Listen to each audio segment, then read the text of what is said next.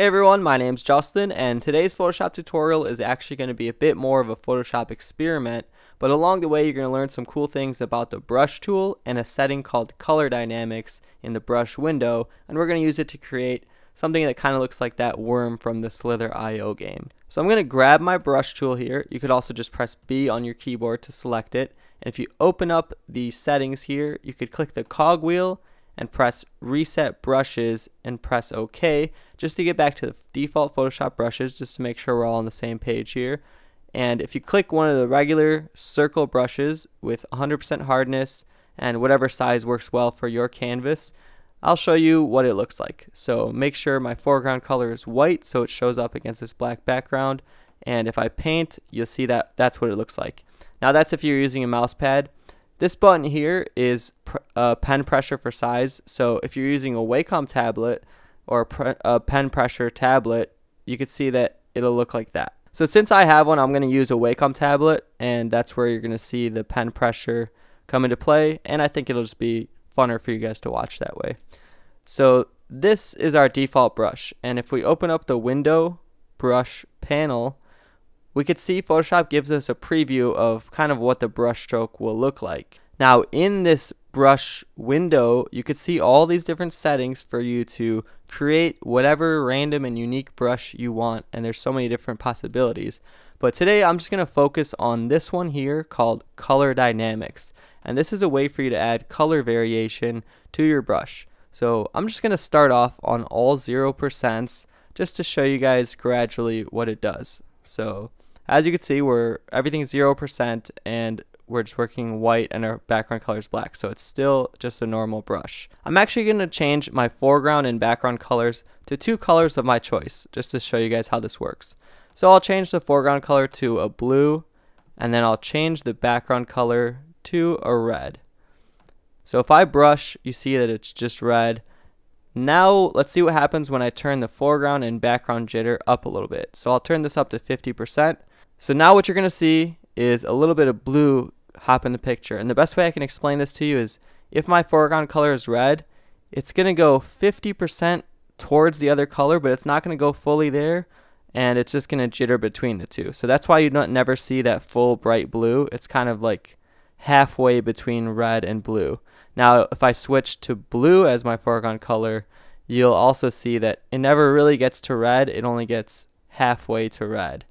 Now if we turn it up to 100% jitter, you'll see that the color reaches all the way to red and all the way back to blue. So now it no longer matters if red is my foreground color or blue is my foreground color. The line is going to look the same. So that's the foreground jitter and background jitter strength. And the next setting we have here is hue jitter.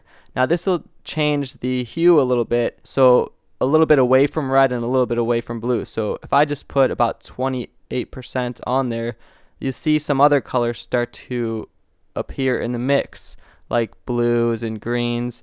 But it still kind of sticks towards that red and blue theme because we only have 25%. Now, once you take this all the way up to 100%, it kind of no longer matters what your original color was because the hue is now 100% random, if you know what I mean. Now, another thing you can adjust is the saturation, and that's pretty self-explanatory if you're familiar with Photoshop, is the saturation jitter is how much this color is saturated. So if there's zero jitter, it's just going to stay at the saturation levels of your original two colors. But if there's 100% jitter, you'll start to see some faded and pastel colors and some really bright colors as well. So that's another setting and now we're cranking it all up. The brightness jitter, if we crank that up to 100% as well, you'll start to see some really dark colors like black and some really bright colors appear as well like white right here. So if you have all of them cranked up to 100, it kind of no longer matters what your original colors that you picked were because it's so much random variables that you added in there and that's kind of what gives it that Slither IO feel. And this is kind of where the, I got the inspiration to make this little tutorial. But there's one more setting I didn't show you is purity, and that's simply kind of like saturation. So if I turn purity all the way down to zero, it kind of sucks the color out of everything. So now everything's black and white again.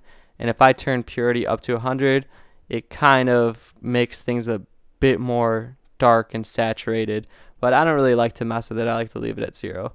One more thing is if you want to adjust the spacing between each circle, is if you head over to the brush tips shape, you can adjust the spacing so we could make it spaced out and then it kind of no longer looks like a, a worm as much. Or you can make it really spaced in, like 10%, and the circles are much closer together and it kind of gives a really cool look. So the fun part about this is you can mess around and create your own little slither IO type of brush worm.